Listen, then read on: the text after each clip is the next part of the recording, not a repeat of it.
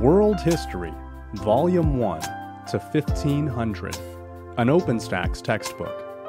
This free audiobook is a public service of Los Angeles Harbor College. Register for in person and online courses today by visiting www.lahc.edu.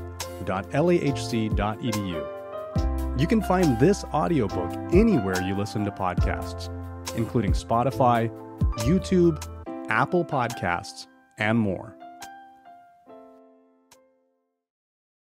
Chapter 3 Early Civilizations and Urban Societies.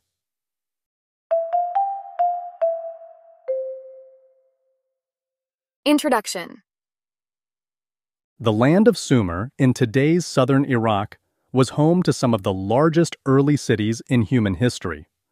In one of these ancient settlements, Ur a beautiful wooden box was laid in a royal tomb in about 2550 BCE. It measures roughly 9 by 20 inches, a little bigger than a laptop, and is inlaid with elaborate mosaic figures and borders composed of bits of red limestone, lapis lazuli, and marine shell.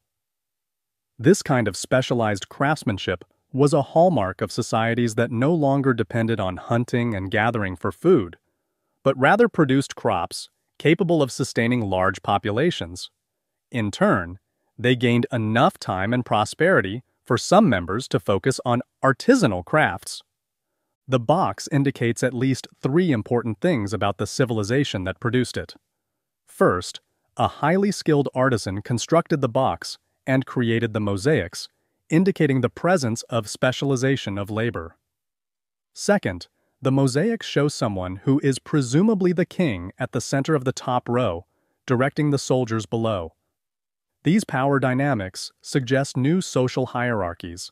Finally, the soldiers all appear smaller in the scene than the king, symbolically reflecting their subordinate position and telling us that social stratification had come into existence. All these developments took place gradually over time, bringing slow but enduring change to the lives of the people in Ur and those who lived nearby. Similar changes occurred in the world's other ancient cities.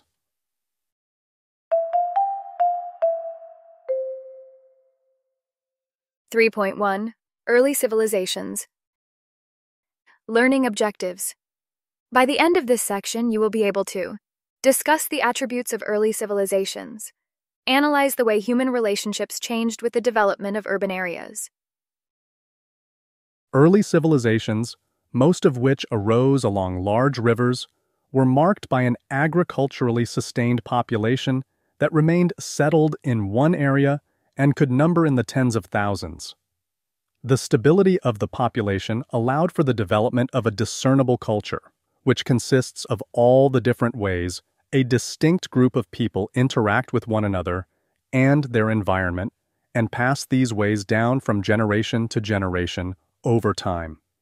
This is not to say that earlier groups of people lacked social identities, but there were important differences between them and the early civilizations that followed.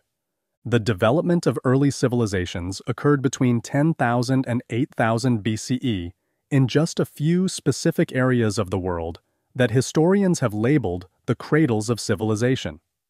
In these locations, today's Mexico, Peru, China, India, Pakistan, Iraq, and Egypt, the introduction of farming allowed larger populations to settle in one place, and the ability to produce and distribute surpluses of food enabled some people to specialize in such tasks as manufacturing handicrafts, tending to the spiritual world, and governing. The peoples of these cultures experienced radical changes in their lifestyles, as well as in the ways their communities interacted with each other and their environments. Attributes of early civilizations. Even after the Neolithic Revolution, many people continued to lead a nomadic or semi-nomadic existence, hunting and gathering or herding domesticated animals. People produced or gathered only enough materials to meet the immediate food, shelter, and clothing needs of their family unit. Even in societies that adopted farming as a way of life, people grew only enough for their own survival. Moreover, The family unit was self-sufficient and relied on its own resources and abilities to meet its needs. No great differences in wealth existed between families, and each person provided necessary support for the group. Group leaders relied primarily on consensus for decision-making.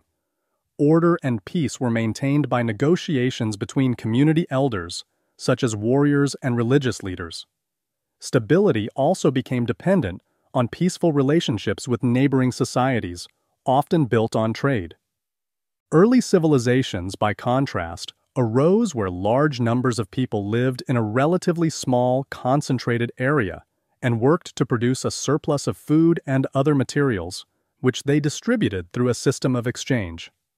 For farming communities, this food surplus meant family size grew to six or seven children and caused the global human population to skyrocket.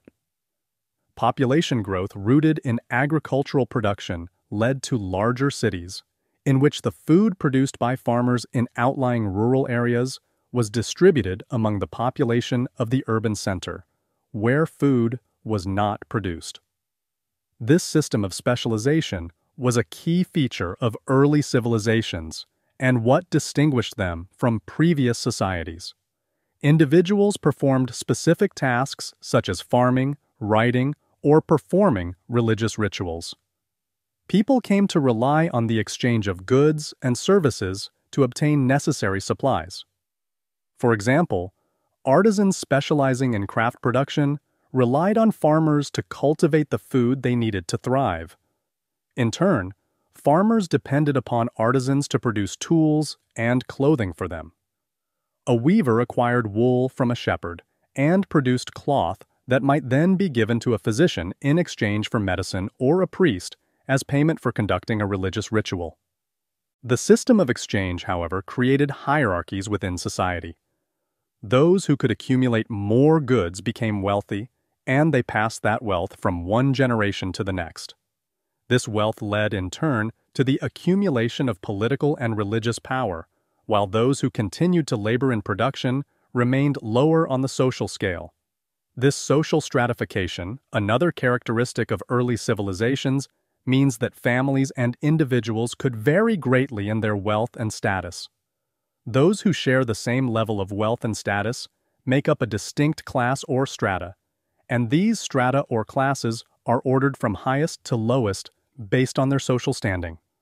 The nature of government also changed as populations grew. In smaller groups, decisions about war and migration were made in concert because no individual or family was likely to survive without the others. Also, in small communities, order and peace were often enforced at the family level. If someone acted badly, the customs of the society were brought to bear on them to correct the offending behavior. For example, the San of South Africa held a ritual dance to contact their elders for advice on how to correct a difficult situation. The act of coming together was often enough for the community to heal. In larger civilizations, officials such as priests and kings possessed the authority to command the obedience of subjects, who relied on the powerful to protect them. In return for physical protection and the promise of prosperity, farmers and artisans provided food and goods and, eventually, paid taxes. This exchange served to reinforce both the developing social hierarchy and the specialization of labor. As civilizations developed around the world in this way, they shared the features noted.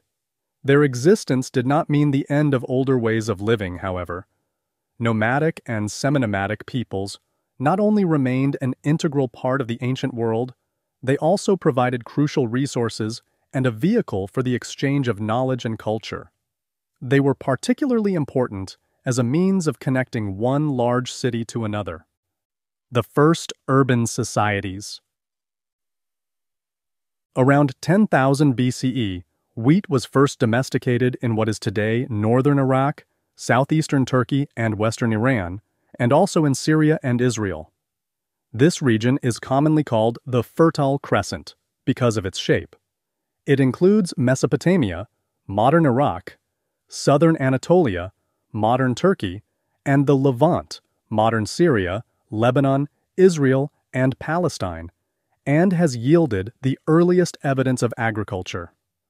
This same region saw the rise of the first urban areas in the Neolithic Age, often called Neolithic cities.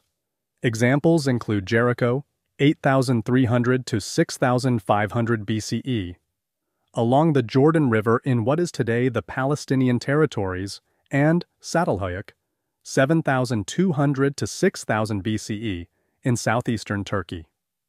Archaeologists have established that these early urban areas had populations as high as 6,000. Neolithic settlements depended upon the transition to agricultural production to sustain their populations.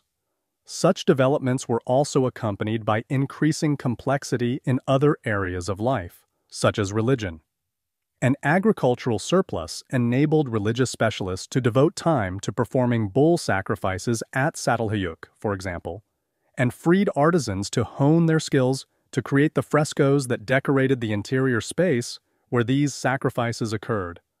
Some form of government must have organized the labor and materials necessary to construct the walls and tower at Jericho, which may have served as an observatory to mark the passage of the solar year.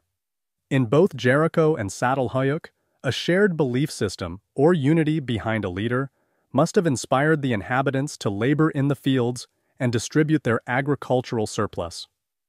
At Jericho, the community may have been united by its veneration of ancestors, whose skulls were decorated and revered as idols. The people of Çatalhöyük may have offered their bull sacrifices to a mother deity, possibly represented by small figurines of a woman that archaeologists have discovered there. The Neolithic cities of Jericho and Çatalhöyük were some of the earliest to emerge, but they are not the only such sites. As early as 7000 BCE, a Neolithic settlement appeared in modern Pakistan at a site today known as Mehrgarh, whose inhabitants engaged in long-distance trade, grew barley, and raised goats and sheep. Comparable Neolithic settlements in China emerged around 8000 BCE along the Yellow and Yangtze rivers, where people cultivated millet and rice. A few thousand years later in the Americas, Neolithic settlements sprang up in both Mesoamerica and the Andes Mountains region. Not all the Neolithic settlements endured. Çatalhöyük, for example, was ultimately abandoned around 6000 BCE and never reoccupied. Jericho, on the other hand, was abandoned and resettled a few times and is still a functioning city today.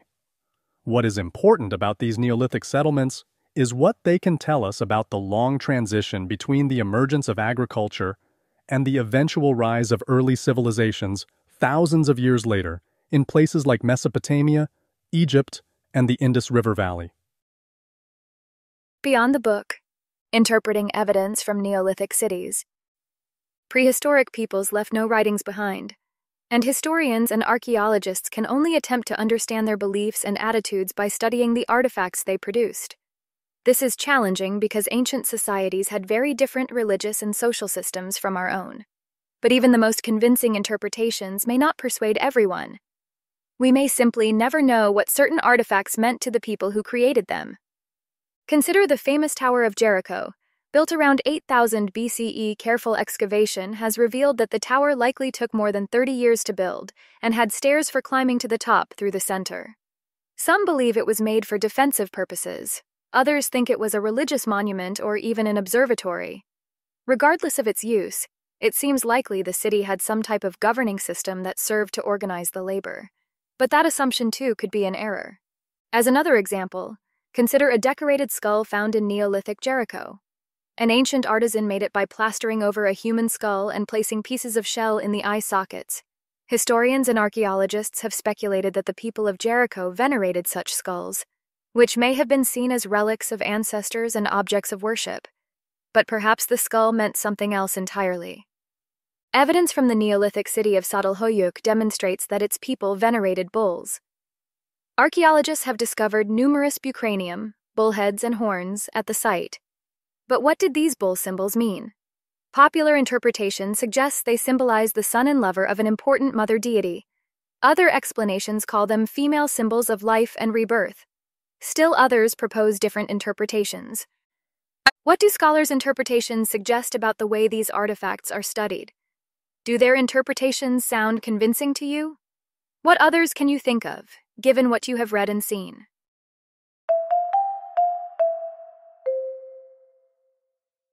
Three point two Ancient Mesopotamia. Learning objectives. By the end of this section, you will be able to identify characteristics of civilization in ancient Mesopotamia, discuss the political history of Mesopotamia from the early Sumerian city states to the rise of Old Babylon, describe the economy, society, and religion of ancient Mesopotamia. In the 4th millennium BCE, the world's first great cities arose in southern Mesopotamia, or the land between the Tigris and Euphrates rivers, then called Sumer. The ancient Sumerians were an inventive people responsible for a host of technological advances, most notably a sophisticated writing system. Even after the Sumerian language ceased to be spoken early in the second millennium BCE, Sumerian literary works survived throughout the whole of Mesopotamia and were often collected by later cities and stored in the first libraries.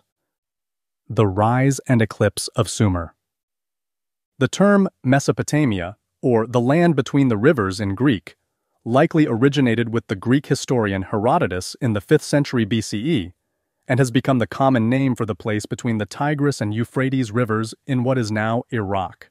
The rivers flow north to south, from the Taurus Mountains of eastern Turkey to the Persian Gulf, depositing fertile soil along their banks.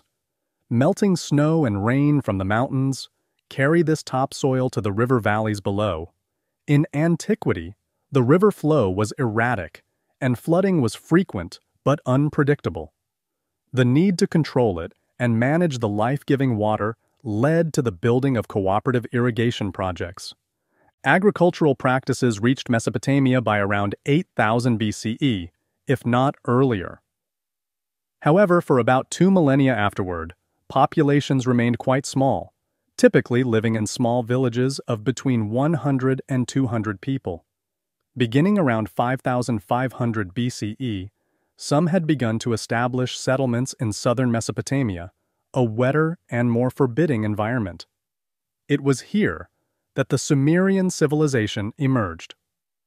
By around 4500 BCE, some of the once small farming villages had become growing urban centers, some with thousands of residents. During the course of the 4th millennium BCE, 3000s BCE, urbanization exploded in the region. By the end of the millennium, there were at least 124 villages with about 100 residents each, 20 towns with as many as 2,000 residents, another 20 small urban centers of about 5,000 residents, and one large city, Uruk with a population that may have been as high as 50,000. This growth helped make Sumer the earliest civilization to develop in Mesopotamia. The 4th millennium BCE in Sumer was also a period of technological innovation. One important invention made after 4000 BCE was the process for manufacturing bronze, an alloy of tin and copper, which marked the beginning of the Bronze Age in Mesopotamia. In this period, bronze replaced stone as the premier material for tools and weapons and remained so for nearly 3,000 years. The ancient Sumerians also developed the plow, the wheel, and irrigation techniques that used small channels and canals with dikes for diverting river water into fields. All these developments allowed for population growth and the continued rise of cities by expanding agricultural production and the distribution of agricultural goods. In the area of science, the Sumerians developed a sophisticated mathematical system based on the numbers 60, 10, and 1. One of the greatest inventions of this period was writing. The Sumerians developed cuneiform, a script characterized by wedge-shaped symbols that evolved into a phonetic script, that is, one based on sounds, in which each symbol stood for a syllable. They wrote their laws, religious tracts, and property transactions on clay tablets, which became very durable once baked, just like the clay bricks the Sumerians used to construct their buildings? The clay tablets held records of commercial exchanges, including contracts and receipts, as well as taxes and payrolls. Cuneiform also allowed rulers to record their laws and priests to preserve their rituals and sacred stories. In these ways, it helped facilitate both economic growth and the formation of states. Cuneiform was a very complex writing system, and literacy remained the monopoly of an elite group of highly trained writing specialists, the scribes. But the script was also highly flexible and could be used to symbolize a great number of sounds, allowing subsequent Mesopotamian cultures, such as the Akkadians, Babylonians, and many more, to adapt it to their own languages.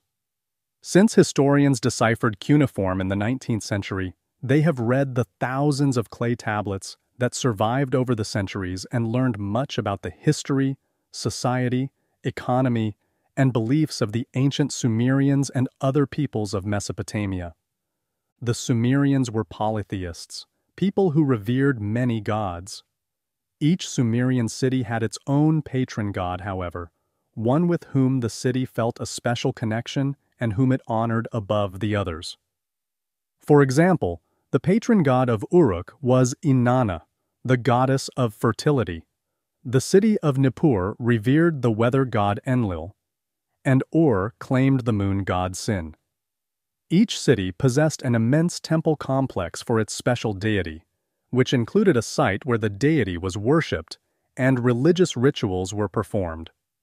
This site, the ziggurat, was a stepped tower built of mud brick with a flat top. At its summit stood a roofed structure that housed the sacred idol or image of the temple's deity. The temple complex also included the homes of the priests, workshops for artisans who made goods for the temple, and storage facilities to meet the needs of the temple workers. Sumerians were clearly eager to please their gods by placing them at the center of their society. These gods could be fickle, faithless, and easily stirred to anger. If displeased with the people, they might bring famine or conquest. Making sure the gods were praised and honored was thus a way of ensuring prosperity. Praising them, however, implied different things for different social tires in Sumer. For common people, it meant living a virtuous life and giving to the poor. For priests and priestesses, it consisted of performing the various rituals at the temple complexes. And for rulers honoring the gods, it meant ensuring that the temples were properly funded, maintained, and regularly beautified and enlarged if possible. By the early dynastic period, 2650 to 2400 BCE, powerful dynasties of kings called Lugals had established themselves as rulers of the cities. In each city, the Lugals rose to power primarily as warlords, since the Sumerian cities often waged war against each other for control of farmland and access to water as well as other natural resources. Lugals legitimized their authority through the control of the religious institutions of the city. For example, at Ur, the daughter of the reigning Lugal always served as the high priestess of the moon god Sin, the chief deity at Ur. The Lugals at Ur during this period, the so-called First Dynasty of Ur, were especially wealthy, as reflected in the magnificent beehive-shaped tombs in which they were buried. In these tombs, precious goods such as jewelry and musical instruments were stored, along with the bodies of servants who were killed and placed in the tomb to accompany the rulers to the land of the dead. One of the more spectacular tombs belonged to a woman of Ur called Puabi, who was buried wearing an elaborate headdress and might have been a queen. The most famous Lugal in all Sumer in this early period was Gilgamesh of Uruk, whose legendary exploits were recounted later in fantastical form in the Epic of Gilgamesh.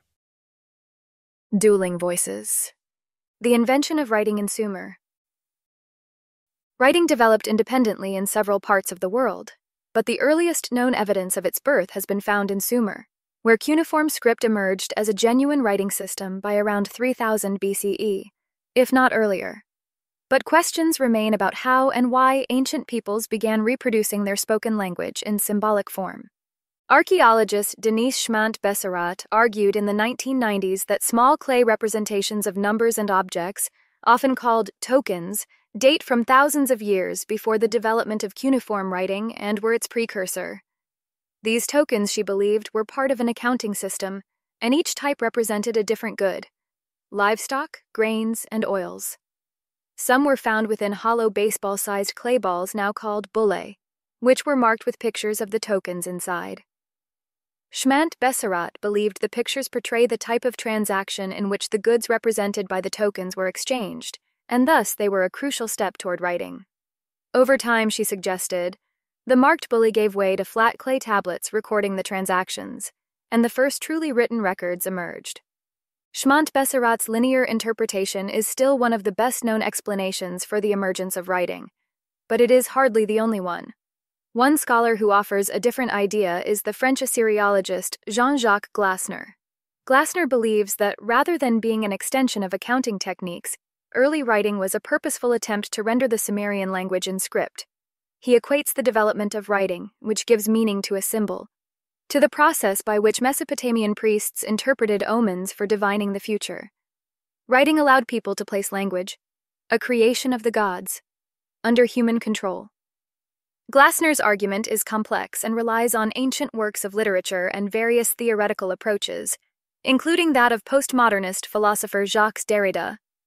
Many disagree with Glassner's conclusions, and modern scholars concede that tokens likely played an important role, but probably not in the linear way Schmandt Besserat proposed. Uncertainty about the origin of writing in Sumer still abounds, and the scholarly debate continues. Why do you think Schmandt Besserat's argument was once so appealing? If you lived in a society with no writing, what might prompt you to develop a way to represent your language in symbolic form? The rise of the world's first empire. Around 2300 BCE, the era of the independent Sumerian city state, a political entity consisting of a city and surrounding territory that it controls, came to an end. Sumer and indeed all of Mesopotamia was conquered by Sargon of Akkad, who created the first known empire, in this case, a number of regional powers under the control of one person. The word Akkad in his name was a reference to the Akkadians, a group that settled in central Mesopotamia, north of Sumer, around the ancient city of Kish. Over time, the Akkadians adopted Sumerian culture and adapted cuneiform to their own language, a language of the Semitic family that includes the Arabic and Hebrew spoken today. They also identified their own gods with the gods of the Sumerians and adopted Sumerian myths. For example, the Akkadians identified the fertility goddess Inanna with their own goddess Ishtar. Sargon conquered not only Sumer, but also what is today northern Iraq, Syria, and southwestern Iran. While the precise details of his origin and rise to power are not known, scholars believe the story Sargon told about himself, at least, has likely been accurately preserved in the legend of Sargon, written two centuries after his death as a purported autobiography.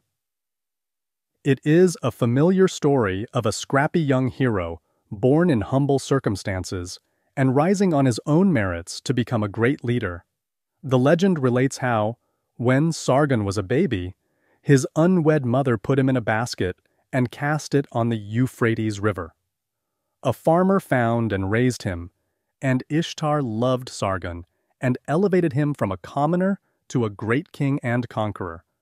This interesting tale would have certainly been a powerful piece of propaganda justifying Sargon's rule and endearing him to the common people, and some of it may even be true.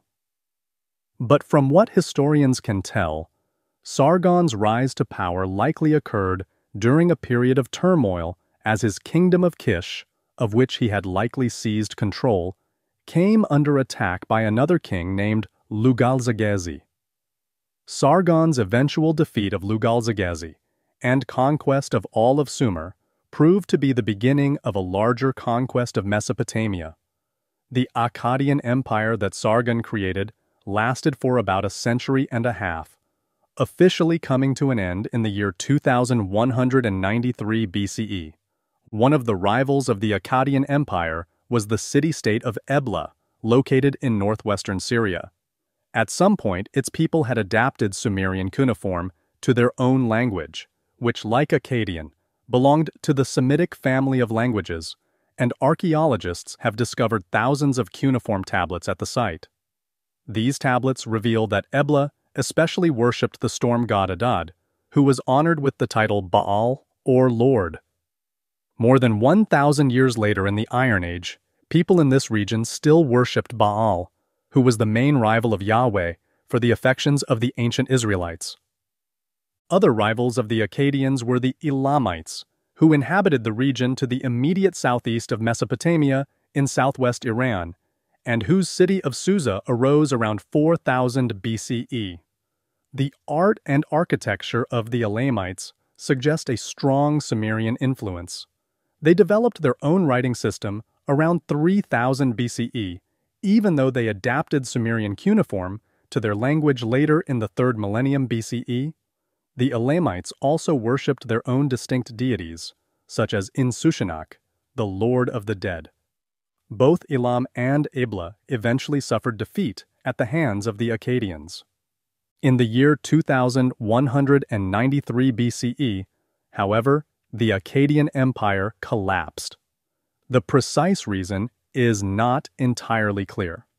However, some ancient accounts point to the incursions of the nomadic Guti tribes, whose original homes were located in the Zagros Mountains of northwestern Iran, northwest of Mesopotamia. These Guti were originally pastoralists who lived off their herds of livestock and moved from place to place to find pasture for their animals. While the Guti tribes certainly did move into the Akkadian Empire toward its end, modern scholarship suggests that the empire was likely experiencing internal decline and famine before this. The Guti appear to have exploited this weakness rather than triggering it. Regardless, for around a century, the Guti ruled over Sumer and adopted its culture as their own. Around 2120 BCE, however, the Sumerians came together under the leadership of the cities of Uruk and Ur and expelled the Guti from their homeland. Later empires in Mesopotamia.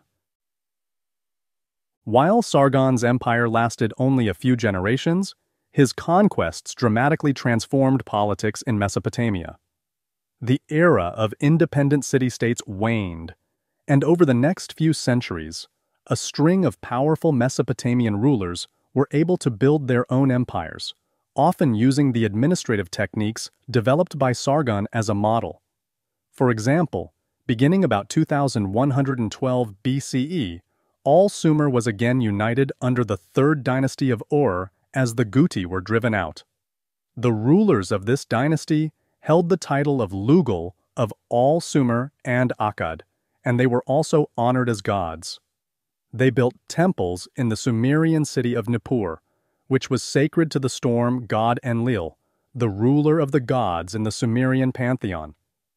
The most famous Lugal of this dynasty was Ur-Nammu, circa 2150 BCE, renowned for his works of poetry as well as for the law code he published. At its height, the Third Dynasty extended its control over both southern and northern Mesopotamia. But by the end of the third millennium, change was on the horizon. Foreign invaders from the north, east, and west put tremendous pressure on the empire, and its rulers increased their military preparedness and even constructed a 170-mile fortification wall to keep them out. While these strategies were somewhat effective, they appear to have only postponed the inevitable as Amorites, Elamites, and other groups eventually poured in and raided cities across the land. By about 2004 BCE, Sumer had crumbled, and even Ur was violently sacked by the invaders. In the centuries after 2004 BCE, the migration of Amorites into Mesopotamia resulted in the gradual disappearance of Sumerian as a spoken language. People in the region came to speak Amorite, which belonged to the family of Semitic languages. Nonetheless, scribes continued to preserve and write works in Sumerian and Akkadian cuneiform. Sumerian and Akkadian became the languages of religious rituals, hymns, and prayers, as well as classic literary works such as the Epic of Gilgamesh. Consequently, the literary output of these earlier cultures was preserved and transmitted to the new settlers. When nomadic Amorite tribes settled in Mesopotamia, they eventually established new cities such as Mari, Ashur, and Babylon, and they adopted much of the culture they encountered. The ancient Sumerian cities of Larsa and Isin of this era also preserved these cultural traditions, even as they came under the rule of Amorite kings. Hammurabi, the energetic ruler of Babylon during the first half of the 18th century BCE, defeated the kings of the rival cities of Mari and Larsa and created an empire that encompassed nearly all of Mesopotamia. To unify this new empire, Hammurabi initiated the construction of irrigation projects, built new temples at Nippur, and published his legal edicts throughout his realm. Hammurabi had these edicts inscribed on stone pillars erected in different places in the empire to inform his subjects about proper behavior and the laws of the land. Being especially clear, the Code of Hammurabi far outlived the king who created it. It also provides us with a fascinating window into how Mesopotamian society functioned at this time. While Hammurabi's empire lasted a century and a half, much of the territory he conquered began falling away from Babylon's control shortly after he died. The empire continued to dwindle in size until 1595 BCE, when an army of Hittites from central Anatolia, in the north, modern Turkey, sacked the city of Babylon. Shortly thereafter, Kassites from the Zagros Mountains of northwestern Iran conquered Babylon and southern Mesopotamia and settled there, unlike the Hittites who had returned to their Anatolian home. The Kassites established a dynasty that ruled over Babylon for nearly 500 years to the very end of the Bronze Age. Like the Guti and the Amorites before them, over time, the Kassite rulers adopted the culture of their Mesopotamian subjects. In their own words, the law in Old Babylon. Remarkable for its clarity, the Code of Hammurabi may have introduced concepts like the presumption of innocence and the use of evidence. It informed legal systems in Mesopotamia for many centuries after Hammurabi's death. The Code of Hammurabi promoted the principle that punishment should fit the crime, but penalties often depended on social class. If a man put out the eye of a man's slave, or break the bone of a man's slave, he shall pay one half of its value. If anyone strike the body of a man higher in rank than he, he shall receive sixty blows with an ox whip in public. Many edicts concern marriage, adultery, children, and marriage property. If a man's wife be surprised with another man, both shall be tied and thrown into the water, but the husband may pardon his wife and the king his slaves. If a man give his wife a field, garden, and house, and a deed therefore, if then after the death of her husband the sons raise no claim, then the mother may bequeath all to one of her sons whom she prefers, and need leave nothing to his brothers. A good number of the Code's edicts concern the settling of commercial disputes. If anyone lose an article, and find it in the possession of another who says, A merchant sold it to me, I paid for it before witnesses. The judge shall examine their testimony, both of the witnesses before whom the price was paid, and of the witnesses who identify the lost article on oath. The merchant is then proved to be a thief and shall be put to death. The owner of the lost article receives his property, and he who bought it receives the money he paid from the estate of the merchant.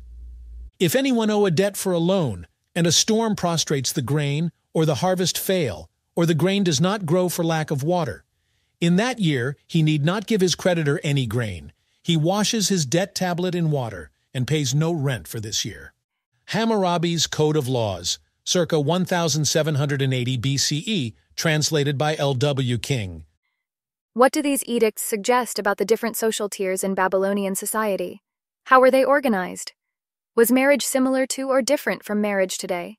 Do the edicts for resolving economic disputes seem fair to you? Why or why not? Society and Religion in Ancient Mesopotamia.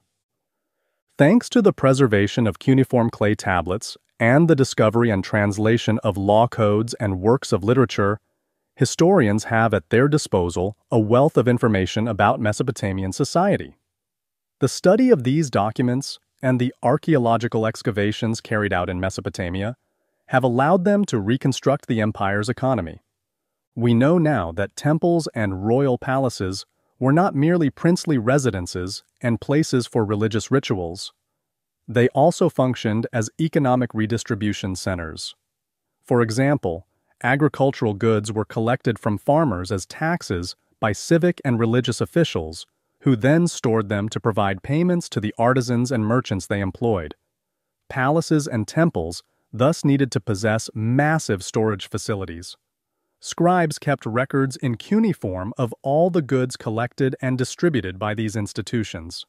City gates served as areas where farmers, artisans, and merchants could congregate and exchange goods. Precious metals such as gold often served as a medium of exchange, but these goods had to be weighed and measured during commercial exchanges. Since coinage and money, as we understand it today, did not emerge until the Iron Age, a millennium later. Society in southern Mesopotamia was highly urban. About 70 to 80 percent of the population lived in cities, but not all were employed as artisans, merchants, or other traditional urban roles. Rather, agriculture and animal husbandry accounted for a majority of a city's economic production. Much of the land was controlled by the temples, kings, or other powerful landowners, and was worked by semi-free peasants who were tied to the land. The rest of the land included numerous small plots worked by the free peasants who made up about half the population. A much smaller portion was made up of enslaved people, typically prisoners of war, or persons who had committed crimes or gone into debt. A man could sell his own children into slavery to cover a debt.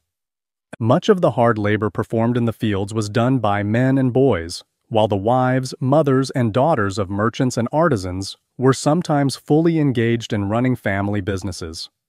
Cuneiform tablets tell us that women oversaw the business affairs of their families, especially when husbands were merchants who often traveled far from home. For example, cuneiform tablets from circa 1900 BCE show that merchants from Ashur in northern Mesopotamia conducted trade with central Anatolia, and wrote letters to their female family members back home. Women were also engaged in the production of textiles like wool and linen. They not only produced these textiles in workshops with their own hands, but some appear to have held managerial positions within the textile industry. Free peasant farmers, artisans, and merchants were all commoners. This put them in a higher social position than the semi-free peasants and slaves, but lower than the elite nobility, who made up a very small percentage of the population and whose ranks included priests, official scribes, and military leaders. This aristocratic elite often received land in payment for their services to the kings and collected rents in kind from their peasant tenants. Social distinctions were also reflected in the law. For example, aspects of Hammurabi's law code called for punishments for causing physical harm to another to be equal to the harm inflicted. This principle is best summarized in the line, an eye for an eye and a tooth for a tooth. However, the principle applied only to victims and perpetrators of the same social class. An aristocrat convicted of the murder of a fellow noble paid with their life, while an aristocrat who harmed or murdered a commoner might be required only to pay a fine. Men and women were not equal under the Code of Hammurabi. A man was free to have multiple wives and divorce a wife at will, whereas a woman could divorce her husband only if she could prove he had been unkind to her without reason. However, a woman from a family of means could protect her position in a marriage if her family put up a dowry, which could be land or goods. Upon marriage, the husband obtained the dowry, but if he divorced or was unkind to his wife, he had to return it to her and her family. Cuneiform tablets have also allowed historians to read stories about the gods and heroes of Mesopotamian cultures. Mesopotamians revered many different gods associated with forces of nature. These were anthropomorphic deities who not only had divine powers, but also frequently acted on very human impulses like anger, fear, annoyance, and lust. Examples include Utu, the god of the sun, Inanna, known to the Akkadians as Ishtar, the goddess of fertility, and Enlil, whose equivalent in other Mesopotamian cultures was Marduk, the god of wind and rain. The ancient Mesopotamians held that the gods were visible in the sky as heavenly bodies like stars, the moon, the sun, and the planets. This belief led them to pay close attention to these bodies, and over time, they developed a sophisticated understanding of their movement. This knowledge allowed them to predict astronomical events like eclipses and informed their development of a 12 month calendar. People in Mesopotamia believed human beings were created to serve the gods. They were expected to supply the gods with food through the sacrifice of sheep and cattle in religious rituals, and to honor them with temples, religious songs or hymns, and expensive gifts. People sought divine support from their gods, but they also feared that their worship might be insufficient and anger the deity. When that happened, the gods could bring death and devastation through floods and pestilence. Stories of gods wreaking great destruction, sometimes for petty reasons, are common in Mesopotamian myths. For example, in one Sumerian myth, the storm god Enlil nearly destroyed the entire human race with a flood when the noise made by humans annoyed him and kept him from sleep. The ancient Mesopotamians' belief that the gods were fickle destructive, and easily stirred to anger is one reason many historians believe they had a generally pessimistic worldview. From the literature they left behind, we can see that while they hoped for the best, they were often resigned to accept the worst. Given the environment in which Mesopotamian civilization emerged, this pessimism is somewhat understandable. River flooding was common and could often be unpredictable and destructive.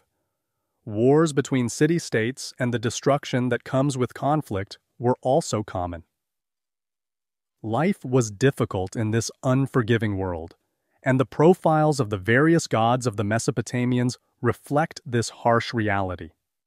Evidence of Mesopotamians' pessimism is also present in their view of the afterlife. In their religion, after death, all people spent eternity in a shadowy underworld, sometimes called the land of no return. Descriptions of this place differ somewhat in the details, but the common understanding was that it was a gloomy and frightening place where the dead were consumed by sorrow, eating dust and clay and longing pitifully and futilely to return to the land of the living.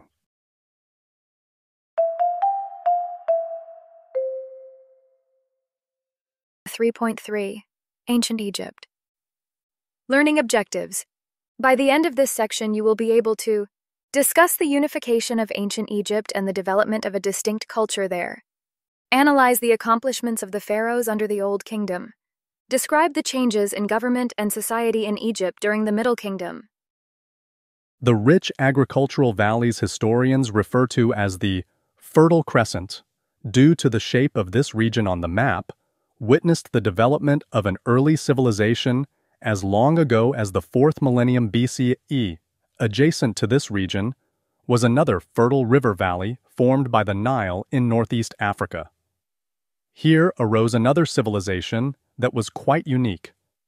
Unlike the city-states of Sumer, which were not organized into an empire until the time of Sargon of Akkad, the peoples of the Nile River Valley were brought together under a single ruler around 3150 BCE. Although brief intervals of disunity occurred, Egypt remained a united and powerful kingdom, the great superpower of the ancient Near East, until the end of the Bronze Age in about 1100 BCE. The origins of ancient Egypt. Aside from the Nile, Egypt and the areas around it are today part of the expansive and very arid Sahara.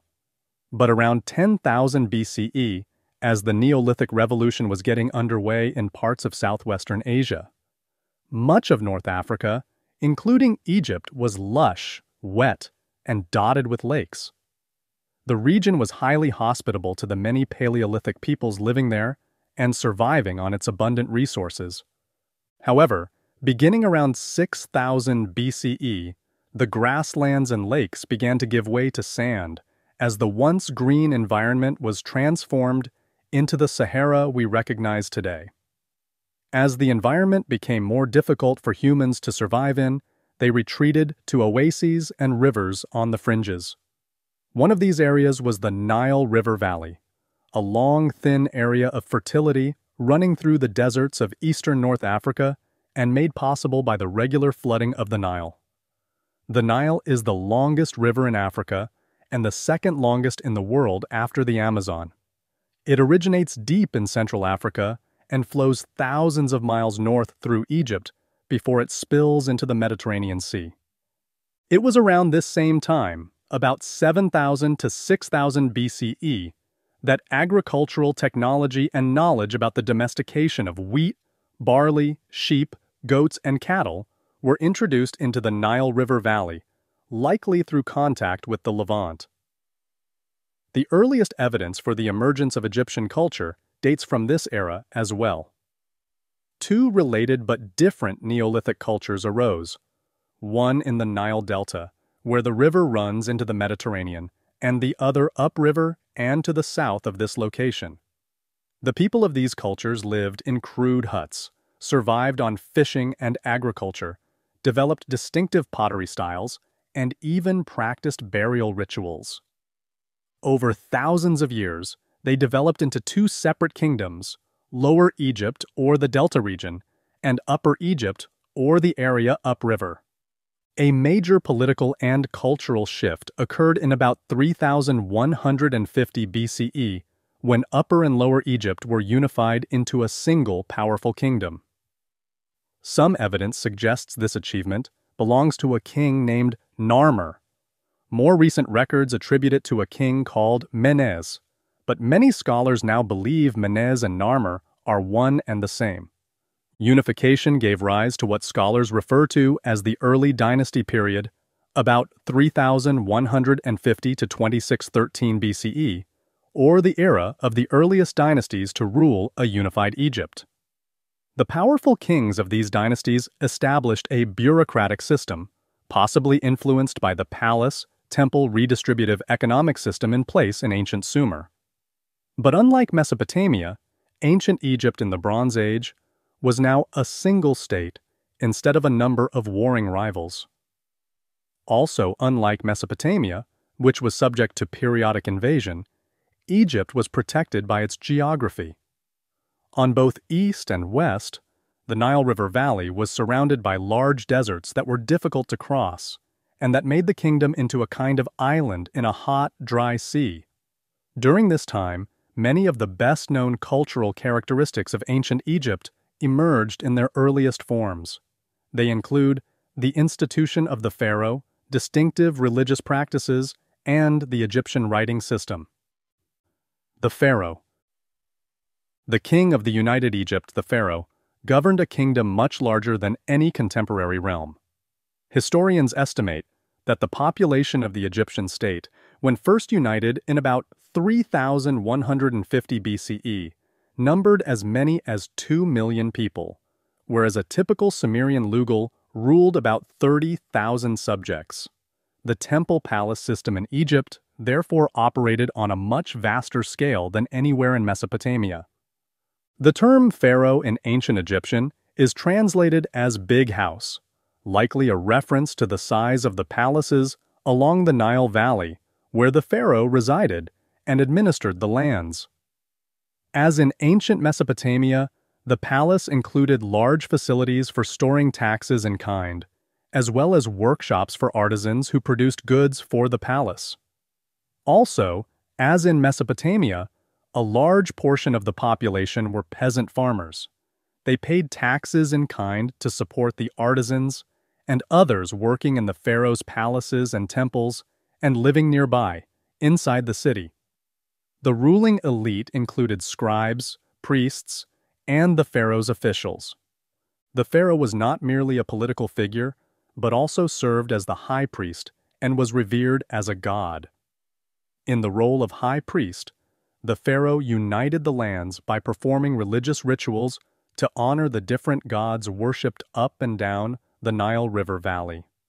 As a deity, the pharaoh was the human form or incarnation of Horus, the god of justice and truth. Egyptians believed the divine presence of the pharaoh, as Horus maintained justice throughout the land, which, in turn, maintained peace and prosperity, as evidenced by the welcome annual flooding of the Nile. Egyptian religion Like the people of Mesopotamia, ancient Egyptians were polytheists and worshipped many deities who controlled the forces of nature. For example, Re was the god of the sun, and Isis was the earth goddess of fertility. Osiris was associated with the Nile. The annual flooding of the river, the central event of the Egyptian year, was explained through the myth of Osiris, who was murdered by his brother Seth, the god of the desert wind, but then resurrected by his devoted wife Isis.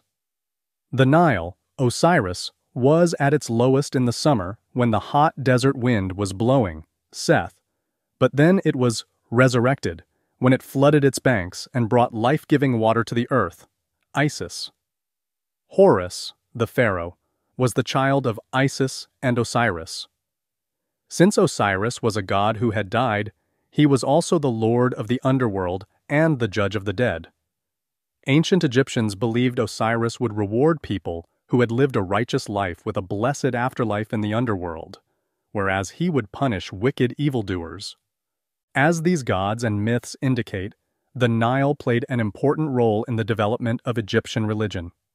Whereas the unpredictable flooding of the Tigris and Euphrates rivers in southern Mesopotamia commonly brought destruction along with fresh alluvial deposits, the Nile's summer flooding, predictable as clockwork, brought only welcome deposits of rich sediment.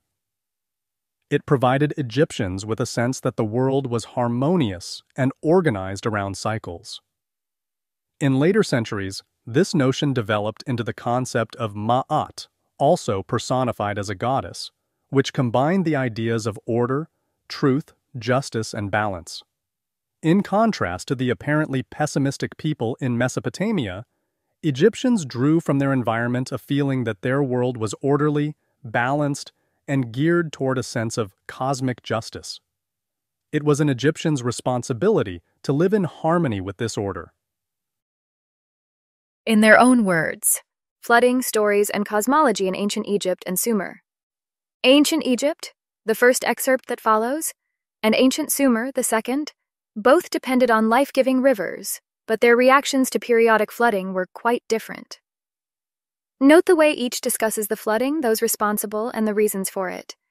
Hymn to the flood, hail flood, emerging from the earth, arriving to bring Egypt to life, hidden of form, the darkness in the day, the one whose followers sing to him as he waters the plants created by Re to make every herd live, who satisfies the desert hills removed from the water, for it is his dew that descends from the sky. He, the beloved of Geb, controller of Nepri, the one who makes the crafts of Ptah verdant, lord of fish, who allows south marsh fowl without a bird falling from heat, maker of barley, grower of emmer grain, creator of festivals of the temples. When he delays, their noses are blocked, everyone is orphaned, and if the offerings of the gods are distributed, then a million men perish among mankind. Verdant the spirit at your coming, O flood, verdant the spirit at your coming.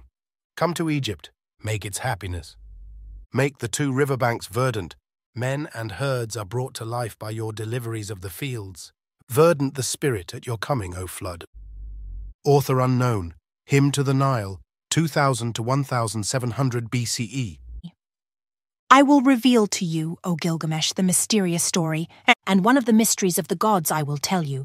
The city of Shurippak, a city which, as you know, is situated on the bank of the river Euphrates, the gods within it, decided to bring about a flood, even the great gods, as many as there were. I saw the approach of the storm, and I was afraid to witness the storm. I entered the ship and shut the door. I entrusted the guidance of the ship to the boatman, entrusted the great house and the contents therein. As soon as early dawn appeared, there rose up from the horizon a black cloud, within which the weather god thundered, and the king of the gods went before it. The storm brought on by the gods swept even up to the heavens, and all light was turned into darkness. It flooded the land, it blew with violence, and in one day it rose above the mountains. Like an onslaught in battle, it rushed in on the people. Brother could not save brother. The gods even were afraid of the storm. They retreated and took refuge in the heaven of Anu. There the gods crouched down like dogs. In heaven they sat cowering. Author unknown. Epic of Gilgamesh, translated by R. Campbell Thompson and William Muss-Arnolt and compiled by Laura Getty. What do these excerpts reveal about each people's view of their world and the supernatural? Uh, what do they suggest about each culture's relationship to its rivers? Egyptian writing. Egyptians developed their own unique writing system, known today by the Greek word hieroglyphics, meaning sacred writings, though the Egyptians called it Medu Neter, the gods' words. The roots of hieroglyphic writing can be traced to the time before the early dynastic period, when the first written symbols emerged. But by at least 3000 BCE, the use of these symbols had developed into a sophisticated script. It used a combination of alphabetic signs, syllabic signs, word signs, and pictures of objects. In this complicated system, then known only to highly trained professional scribes, written symbols represented both sounds and ideas. The Egyptians also developed a simplified version of this hieroglyphic script, known as hieratic, which they often employed for more mundane purposes such as record keeping and issuing receipts in commercial transactions. Egyptian scribes recorded their ideas in stone inscriptions on the walls of temples and painted them on the walls of tombs. But they also used the fibers from a reed plant growing along the banks of the Nile to produce papyrus, a writing material like paper that could be rolled into scrolls and stored as records. Some of these papyrus rolls have survived for thousands of years because of the way the dry heat preserved them, and they proved very useful for modern historians and archaeologists after hieroglyphics were deciphered in the 19th century. They preserved Egyptian myths and poetry, popular stories, and lists of pharaohs, along with records of the daily life of ancient Egyptians. The Age of Pyramid Building By the 2600s BCE, the power of the pharaohs and the sophistication of the state in Egypt were such that the building of large-scale stone architecture became possible. Historians in the 19th century believed the significance of these developments was so great that it required a different name for the period. Today, we call it the Old Kingdom, 2613 to 2181 BCE, and it is best known for the massive stone pyramids that continue to awe visitors to Egypt today, many thousands of years after they were built. The pyramids were tombs for the pharaohs of Egypt, places where their bodies were stored and preserved after death. The preservation of the body was important and was directly related to Egyptian religious beliefs that a person was composed of a number of different elements. These included the Ka, Ba, Akh, and others. A person's Ka was their spiritual double. After the physical body died, the Ka remained, but had to stay in the tomb with the body and be nourished with offerings. The Bia was also a type of spiritual essence, but it separated from the body after death, going out in the world during the day and returning to the body each night. The duty of the Akh, yet another type of spirit, was to travel to the underworld and the afterlife. The belief in concepts like the Ka and Ba was what made the practice of mummification and the creation of tombs important in Egyptian religion. Both elements needed the physical body to survive.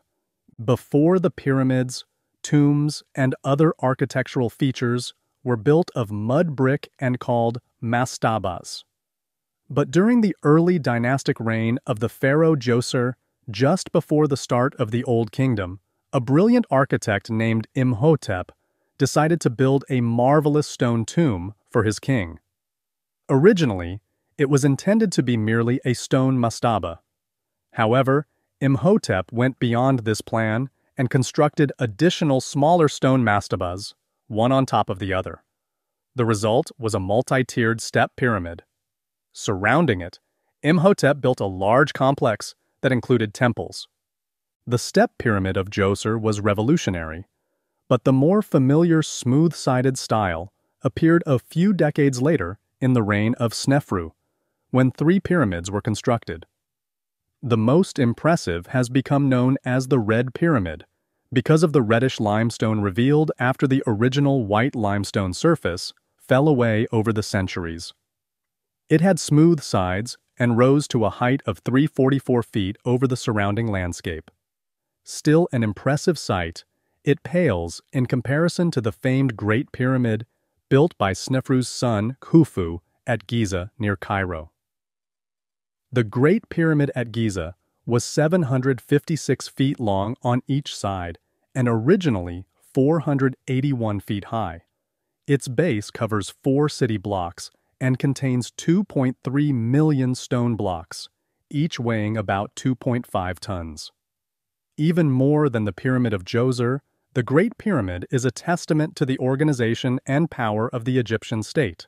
Later pharaohs of the Old Kingdom built two additional but slightly smaller pyramids at the same location, all align with the position of the dog star Sirius in the summer months when the Nile floods each year. Each was also linked to a temple along the Nile dedicated to the relevant pharaoh. Egyptian rulers invested heavily in time and resources to construct these tombs. In the mid 5th century BCE, the ancient Greek historian Herodotus recorded that the Pyramid of Khufu took 100,000 workers 20 years to construct. Herodotus lived 2,000 years after this pyramid was built, however, so we might easily dismiss his report as exaggeration. Modern archaeologists suspect that a much smaller, but still substantial workforce of around 20,000 was likely employed. Excavations at the site reveal that these workers lived in cities built nearby that housed them as well as many others dedicated to feeding and caring for them. The workers were not enslaved, as is commonly assumed.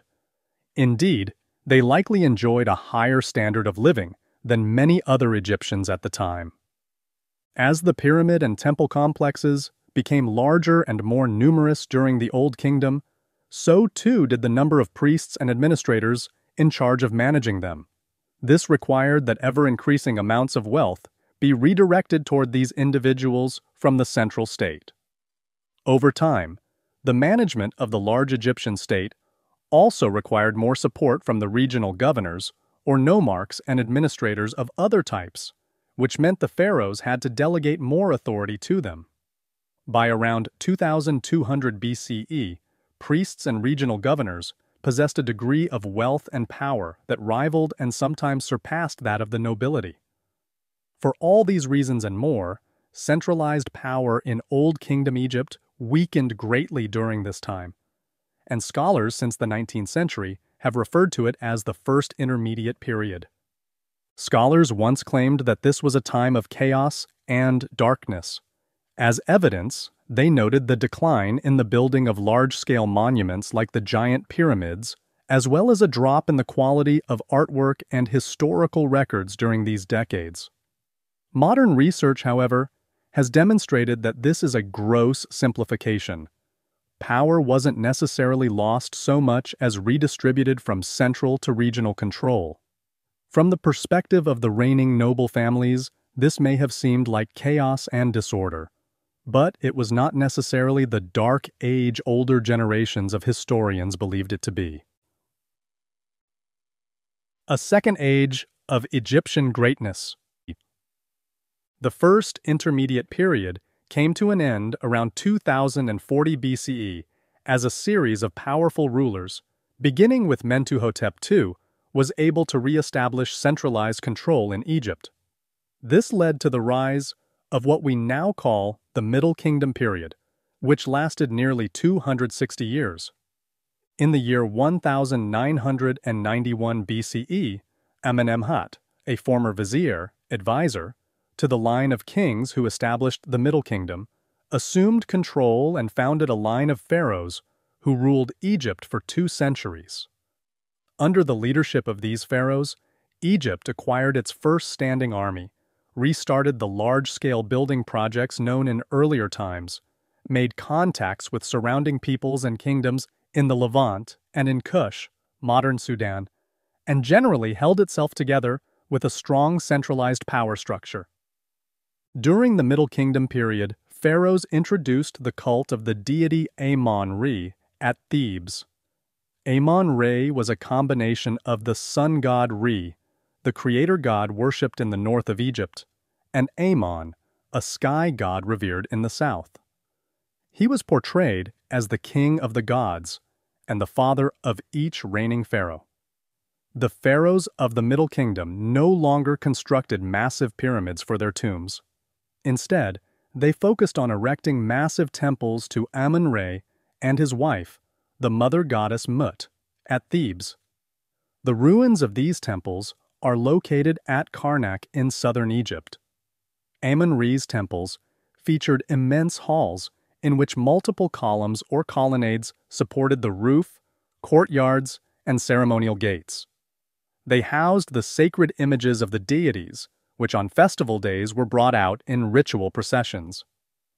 Middle Kingdom Egypt reached its height in the 1870s and 1860s BCE during the reign of Senusret III, a powerful warrior pharaoh and capable administrator of the centralized state. He greatly expanded Egypt's territorial control, leading armies up the Nile into Kush and into the Levant. These efforts not only strengthened Egypt's ability to protect itself from invasion, but also greatly increased the flow of trade from these regions. Kush was known for its rich gold deposits and capable warriors, and Senusret, the third several campaigns there, brought Egypt access not only to the gold, but also to mercenaries from Kush. Senusret also dramatically increased the degree of centralized power held by the pharaoh, reducing the authority and even the number of the nomarchs. Overall, Egypt now grew wealthier, safer, more centralized, and more powerful than it had ever been. As a result, his reign was also a time of cultural flourishing, when Egyptian art, architecture, and literature grew in refinement and sophistication.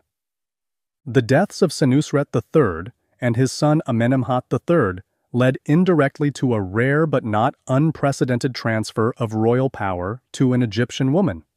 Possibly Amenemhat IV's wife, sister, or both, Sobekneferu, the daughter of Amenemhat III, was the first woman to rule Egypt since before the Old Kingdom. She reigned for only a few years, and little is known of her accomplishments. But scholars have determined that she was the first pharaoh to associate herself with the Egyptian crocodile god Sobek. She may even have commissioned the construction of the city of Crocodilopolis to honor this important god. Because she died without having had children, she was the last in the long series of pharaohs in the line of Amenemhat I. Even before the reign of Sobekneferu, Egypt was already experiencing some degree of decline. Over the next century, the pharaohs and their centralized control became steadily weaker. Increasing numbers of Semitic-speaking peoples from the Levant flowed into Egypt, possibly the result of increased trade between Egypt and the Levant at first. But by the late 1700s BCE, these Semitic-speaking groups had grown so numerous in the Nile Delta region and centralized control of Egypt had grown so weak that some of their chieftains began to assert control in a few areas. The Egyptians called these Semitic-speaking chieftains Hekau Kasut, rulers of foreign lands. Today they are more commonly called Hyksos, a Greek corruption of this Egyptian name. By the time the Hyksos were asserting their control over parts of the Nile Delta, Egypt was already well into what historians of the 19th century dubbed the Second Intermediate Period. Like the First Intermediate Period, the second was a time of reduced centralized control. Not only did the Egyptian nobles, ruling from their capital in Thebes, lose control of the delta, they also lost territory upriver to an increasingly powerful kingdom of Kush in the south. This meant that the territory once controlled by the powerful centralized state bureaucracy was effectively split into three regions, one ruled by Hyksos in the north, one by Kushite in the south, and one by the remnants of the Egyptian nobility in the center. Despite the fragmentation for most of this period, the three regions of Egypt appear to have maintained peaceful relationships. That changed, however, beginning in the 1550s BCE, when a string of Theban Egyptian rulers was able to go on the offensive against the Hyksos. After the Hyksos were defeated and the Nile Delta recaptured, the emboldened Egyptians turned their attention south to Kush, eventually extending their control over these regions as well. These efforts ushered in a new period of Egyptian greatness called the New Kingdom, the highest high water mark of Egyptian power and cultural influence in the ancient world.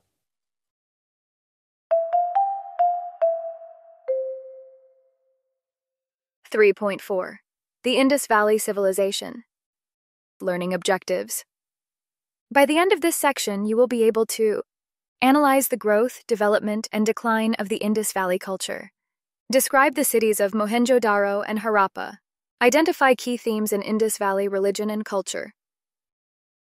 More than 1,500 miles east of Mesopotamia, in the fertile valley of the Indus River, Another early civilization developed in the early 3rd millennium BCE as a peer of ancient Sumer. Early in the 2nd millennium BCE, however, the cities of this Indus Valley culture experienced decline. Lacking written records, historians have only cultural artifacts on which to base any speculation about the rise and fall of this spectacular culture which undoubtedly influenced subsequent civilizations that arose in South Asia.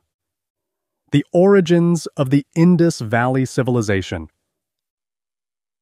The Indus River flows from the Himalayan mountains south into the Indian Ocean, depositing rich alluvial soil from the mountains along its banks. Its valley, in modern Pakistan and India, thus provided a hospitable environment for population growth for the emerging Indus Valley civilization, circa 2800 BCE to 1800 BCE. Evidence for the domestication of plants and animals in this region dates to about 7000 BCE, but the process may have begun earlier. It is likely that agriculturalists in the region adopted barley and wheat cultivation techniques from the Near East, where people had been practicing agriculture for thousands of years by this point. However, it is also possible that the people of the Indus Valley developed some of these techniques independently. Regardless, by about 5000 BCE, they were clearly in contact with the civilizations in Egypt and Sumer. The farmers of the Indus Valley cultivated wheat and barley, as well as raised cattle and sheep, as did the farmers of Mesopotamia and Western Asia. They also domesticated and cultivated bananas and cotton for cloth production, which were both unknown in ancient Mesopotamia. Thanks to the Neolithic Revolution, which secured a stable food source and stimulated population growth, people began living in settled communities along the Indus River Valley as a new early civilization developed. Beginning around 2800 BCE, the Indus Valley entered a new phase in its development with the growth of a great number of urban centers. The two largest cities emerged at what are now the archaeological sites of Harappa in the northeast and Mohenjo-Daro to the southeast and downriver. Other large urban centers existed at Dholavira, Ganeriwala, and Rakhigarhi, along with many smaller but similarly organized cities scattered across the valley. By the time this civilization reached its height around 2000 BCE, more than 1,000 urban centers of varying sizes were spread across the expansive region.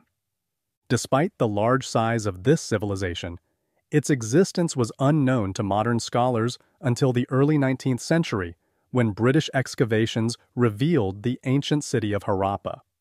Because Harappa was the first major site discovered by archaeologists, the term Harappan often appears as a synonym for Indus Valley civilization.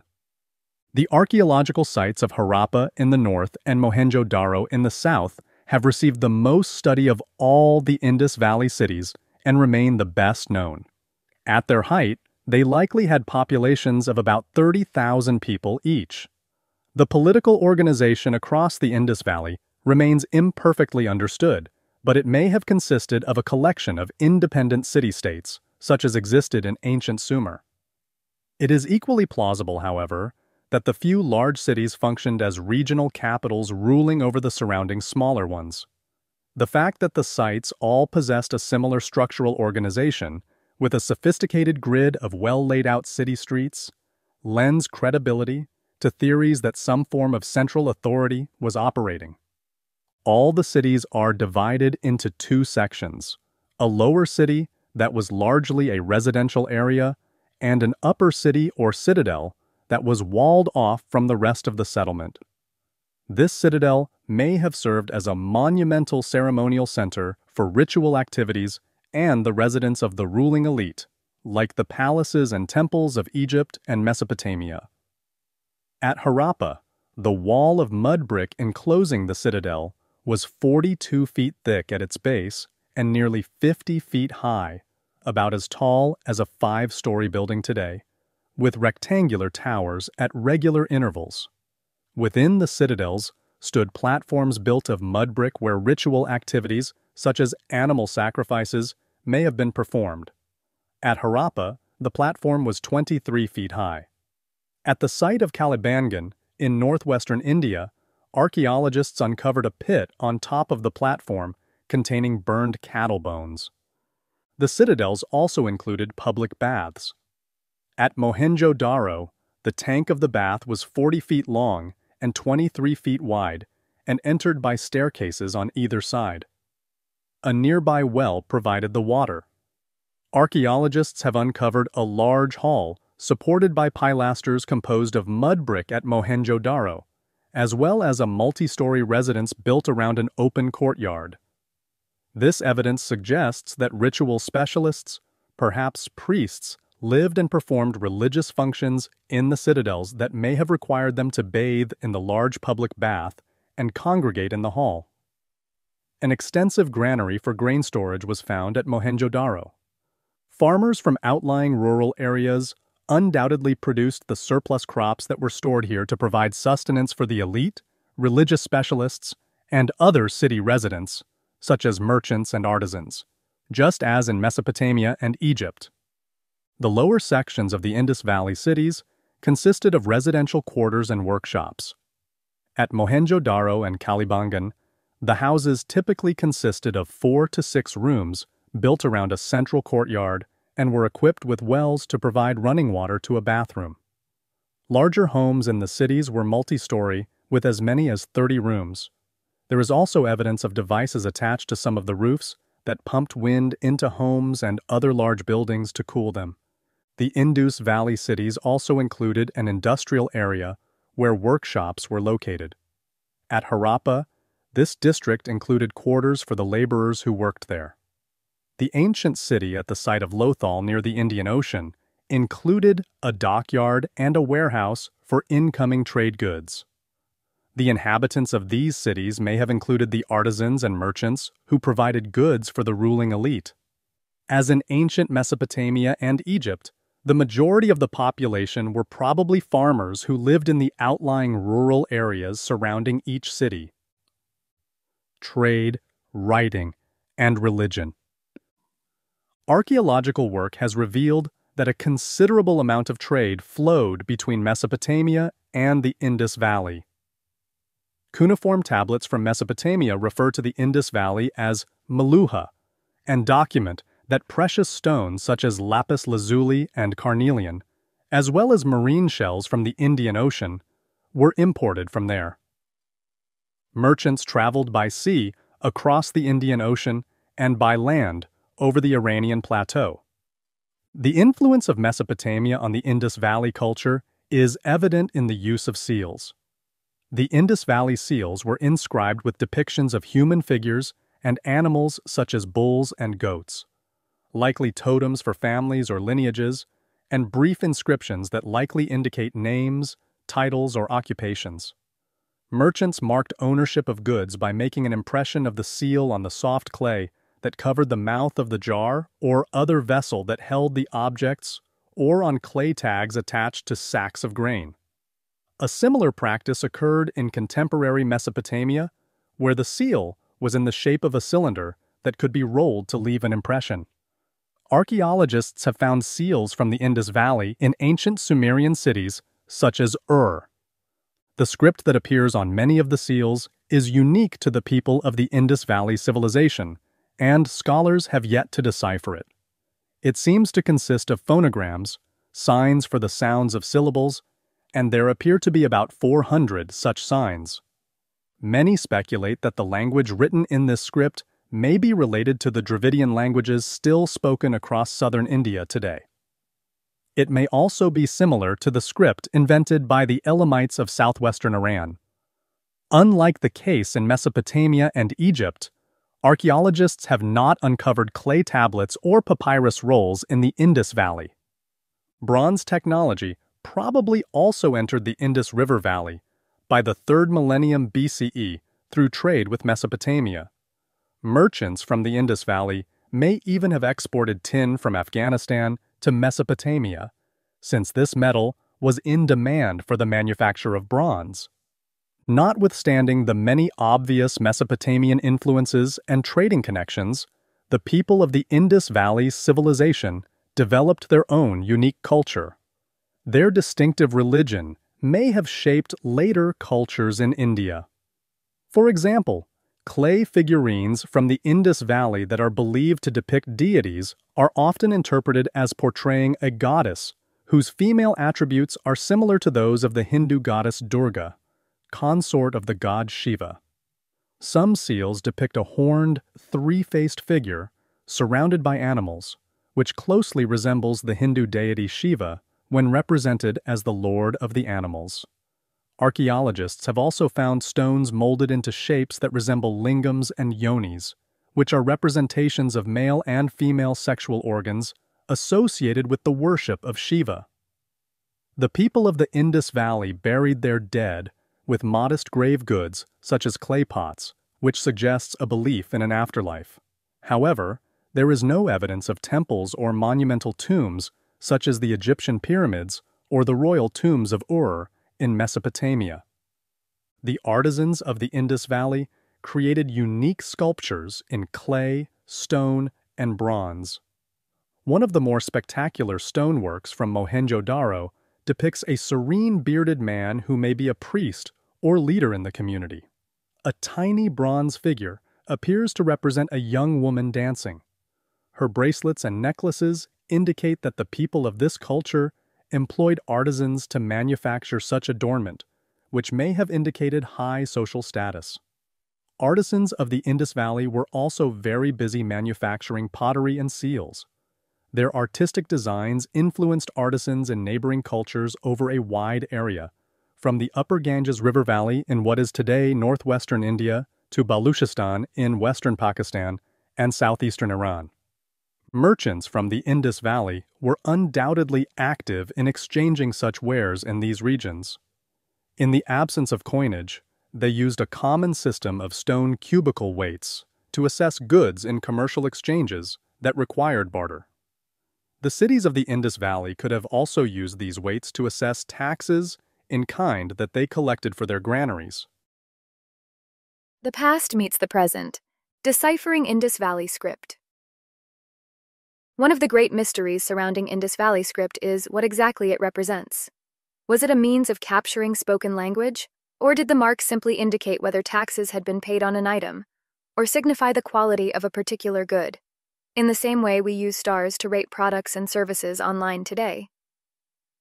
Rajesh Rao, a professor of computer science at the University of Washington who became fascinated with the Indus Valley civilization as a child in India, created a computer program to help him answer this question by measuring conditional entropy in Indus Valley writing. Conditional entropy measures the degree of randomness in a sequence. In a system of writing that encodes language, there is a fairly low level of randomness. Letters appear frequently in some combinations and rarely or never in others. For example, in the English language, the letter Q is usually followed by the letter U, and never by the letter K. At the beginning of a word, the letter H is never followed by a consonant. Rao tested the conditional entropy of the Indus Valley script along with that of several natural languages, including English, artificial languages such as those written for computers, and other sequences not related to language such as human DNA sequences. He discovered that the Indus Valley script has a degree of randomness similar to that of natural languages, leading him to the conclusion that the symbols do represent a language and are not simply marks of quality or signs that something has been taxed. He also concluded that the rate of conditional entropy in Indus Valley writing resembled that of Old Tamil, an earlier form of the Tamil language currently spoken in southern India, that belongs to the Dravidian language family. This idea angered many Indians, especially those who speak Hindi, a language derived from Sanskrit that is the first language of many people in northern India. This issue is both historical and modern.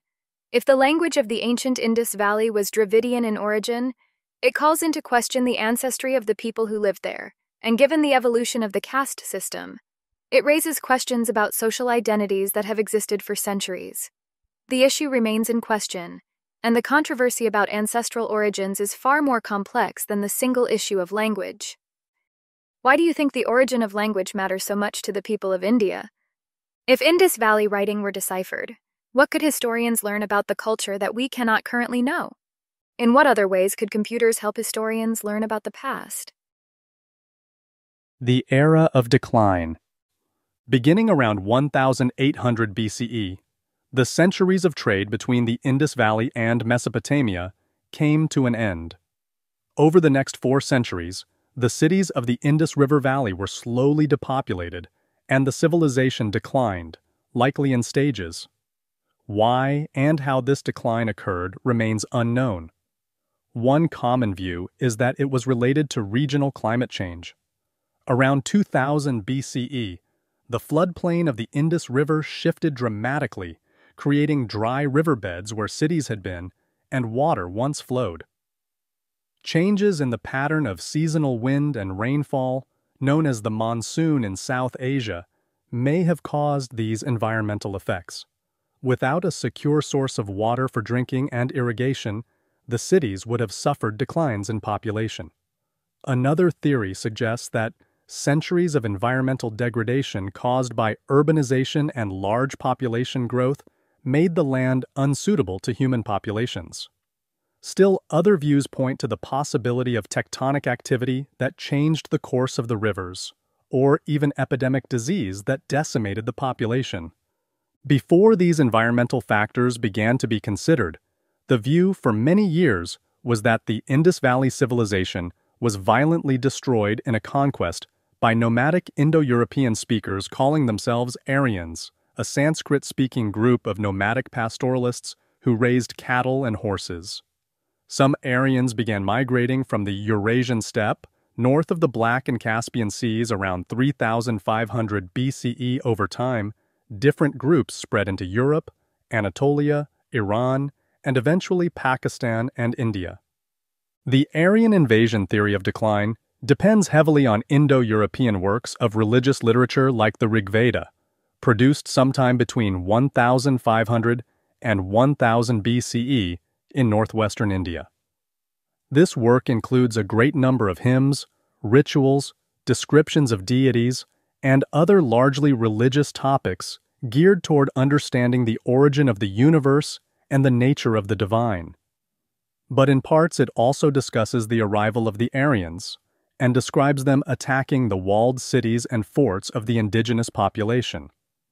While some of these descriptions were likely developed centuries after the fall of the Indus Valley civilization and may be unrelated to it, some scholars continue to hold that these passages describe the conquest of Mohenjo-Daro. Archaeological evidence attesting to the fact that Mohenjo-Daro was attacked around 1500 BCE and mostly destroyed lends some credibility to these claims. We may never know what best explains the collapse of the Indus Valley civilization. A few or all these causes may have played a role. For example, environmental degradation caused by years of resource exploitation and high population density certainly had an effect. These issues could have been compounded by climate change and disease. And in a weakened state, the people of the region would have been far more vulnerable to attack by raiding groups like the Aryans. However it happened, by around 1500 BCE, the social and political systems had broken down, and the sophisticated culture of the Indus Valley civilization had collapsed. The architectural styles that characterized the cities at their height were abandoned, as was the writing system, the sophisticated metalworking, and other artisanal crafts. The Indus Valley civilization had come to an end. This has been World History Volume 1 to 1500, an OpenStax textbook.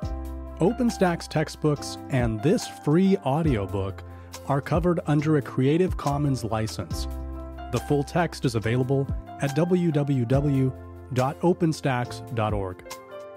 This project was made possible by the Los Angeles Harbor College Foundation. Los Angeles Harbor College is a public community college and your gateway to an affordable and outstanding college education.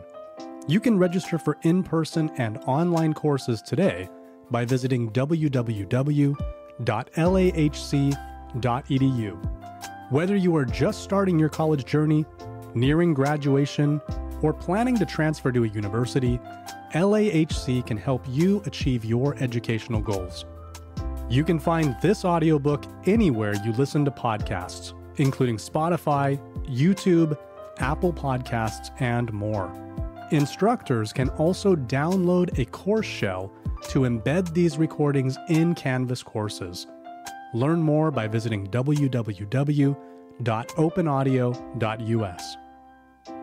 Did you find this audiobook helpful? If so, let us know by leaving a comment and sharing this recording with a colleague or a friend.